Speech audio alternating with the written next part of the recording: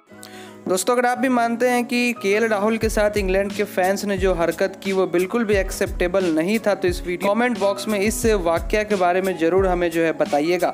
आपको बता दूँ कि इंडिया और इंग्लैंड के बीच दूसरे टेस्ट के दूसरे दिन यहाँ पर जो है इंग्लैंड फैंस ने जो है बहुत ही शर्मनाक हरकत कर दी, जिस पर जो है आने वाले कुछ समय में बहुत बड़ा विवाद भी हमें देखने को मिल सकता है। जहाँ पर के राहुल जब फील्डिंग करे थे तो उनके ऊपर जो है बॉटल का जो है ढक्कन वहाँ पर इंग्लैंड के फैंस जो है वो फेंकते हुए दिखे, जो कि सीधे सीधे जो है आपको कैमरा कैमरा में अच्छी तरीके से दिख रहा था। अब ऐसे में कप्तान विराट कोहली ने जो है के राहुल को इशारा किया कि वापस से जो है वो उस ढक्कन को उसकी तरफ़ वापस फेंक दे लेकिन के राहुल ने ऐसा नहीं किया। अब यहाँ पर जो है देखते हैं आने वाले समय में जहाँ पर बीसीसीआई के प्रेसिडेंट सौरभ गांगुली भी, भी वहाँ पर मौजूद है तो वो इन सब वाक्य के ऊपर क्या एक्शन लेते हैं? ऐसे में आपको क्या लगा? नीचे हमें कॉमेंट करके ज़रूर बताएँ।